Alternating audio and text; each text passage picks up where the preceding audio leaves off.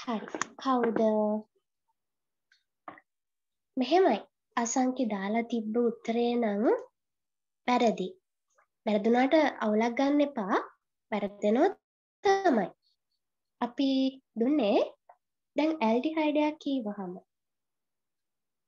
ඇල්ඩිහයිඩයක් කීවහම ආවේ R C double bond O H එකක්නේ නේද? මට දැන් අසංඛ්‍ය උත්තර දෙන්න ඕන. හැම වෙලේම මම ඒ කියනවා නම් ඔයා වැරදි කියලා ඒ කෙනා මාත් එක්ක මේ chat එක chat කරන්න ඉන්න ඕනේ. තේරුණාද අසංකිට? මේක නේද ඇල්ඩිහයිඩයක් කිව්වේ? අසංකිට දාලා තිබ්බ ඇල්ඩිහයිඩ් කියලානේ. මේක නේද ඇල්ඩිහයිඩ වෙන්නේ. ඔව්. දැන් මෙතන තියෙන්නේ මොකක්ද? බලන්න මේක මොකක්ද කියලා. මේ මොකක්ද? මෙන්න මෙයා R එතකොට මෙයා මෙයා මොකක්ද ආය මෙසේජ් කරන්න මෙයා කවුද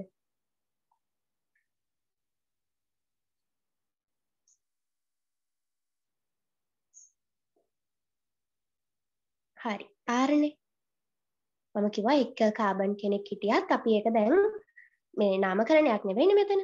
ඒක ආර් කියලා ලකුණු කරන නාමකරණයේදී එම නෑ එතිල් මෙතිල් ඒ විදිහට අර කාබන් ගාන අනුව වෙනස් වී යනවා. ඊට එතකොට ඉතිරි වෙන්නේ C ඩබල් බොන්ඩ් O එක. නේද? දැන් මේකට මම මේ විදිහට බන්ධන දෙකක් දැම්මොත් මේ ඉන්නේ කවුද? මම පළවෙනි ලියන්නම්කෝ.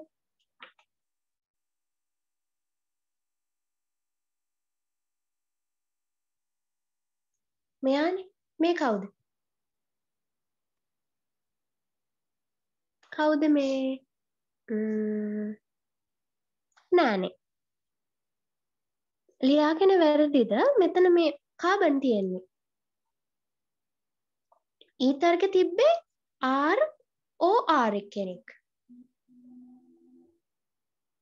බලන්න හරියට. හරි. මට කියන්න මේ මේක ඊතරගෙ මොකක්ද ලියලා තියෙන්නේ? මං ඒකයි දෙතුන් පාරක්ම බලන්න කිවේ ලියාගත්ත හරිද වැරදිද කියලා. ඊතර මේ අර දෙපැත්තේ ආර දෙන්නෙක් ඉන්න නිසා එක පාට ඊතර කියවුණාද? RORනේ හරි. මං හිතන්නේ එහෙම වෙන්න ඇති. මෙතන RC ඩබල් බොන්ඩ් R කෙනෙක් තමයි ඉන්නේ. RC ඩබල් බොන්ඩ් OR කෙනෙක් තමයි ඉන්නේ. මෙන්න මෙතන. එහෙනම් මෙයා කීටෝන් එකක් වෙනවා. තේරුණානේ? නම් තව එකක් දෙන්නම්.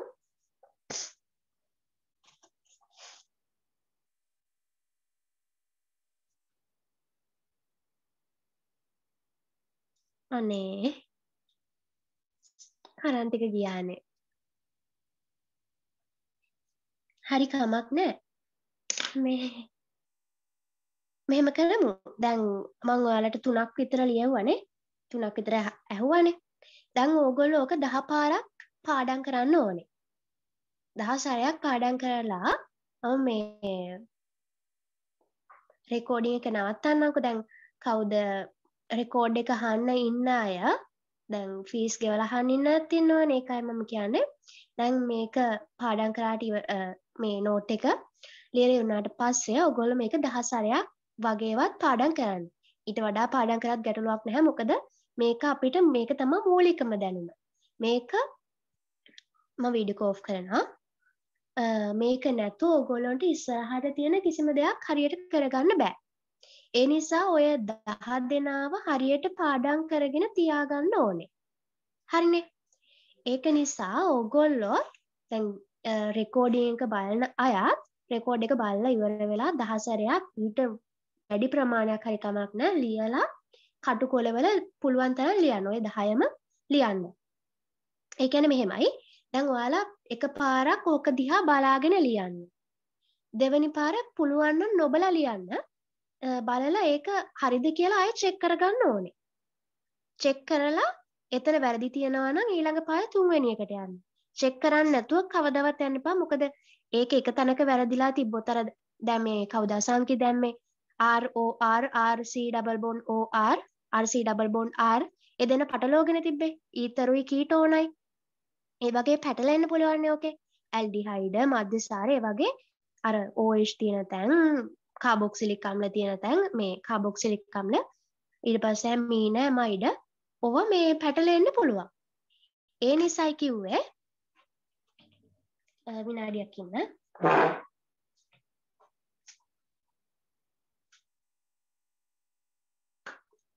හරි ඒ නිසයි කිව්වේ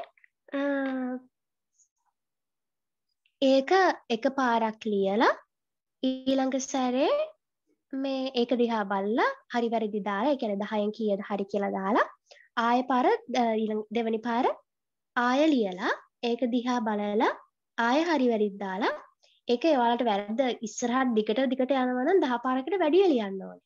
හරි නේද? ඔයා ඔයාට අවංක වෙන්න නැත්නම් ඉතින් ඔයාට ඔගනික් කරගන්න බැරි වෙයි.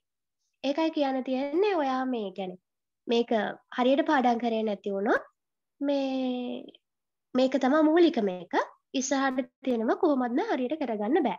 ඒක නිසා මම කියන මේක දහ පාරක්නුවේ සිය පාරක් වුණට ලීවට කමක් නෑ. ඔයාට දහයම හරියනකම් පාඩම් කරගන්න. තෙරුණාද? දැන් ඒ නිසා මම මේක රෙකෝඩිං එක නවත්තනවා. ඔයාට මම දැන් ඉතිරි විනාඩ්ටික දෙන්නම්. ඔල වීඩියෝ ඔන් කරන්න. තැමට වීඩියෝ කොන් කරටවා මට මවවාලට පෙන්න්න හැන ඒ නිසා ඔගොල දැන් වීඩියෝ කෝන් කරගෙන දැන් මේ වෙලාවෙන් පාඩන් කරන්න ඕනේ. මේ කොළවල ලියන්න. කටු කොළවල අරගෙන එක පාරක් ලියලා හරිද කියලා හරි වැරදි බලලා දෙවැනි පාර ලියන්න. වීඩියෝ කෝන් කරන්නකො. රෙකෝඩිංග නවත්තනවා. රෙකෝඩ් එක හන්න අයත් ඔය ටිකම කරලා මට මේ වෙනම ලියපු ටික මේ කටු කොල ටික දාන්න. එතකොට අදට මෙතනින් ඉවරයි මේ උගන්නන ටික්. එකම රෙකෝඩ් එක නවත්තන්නේ.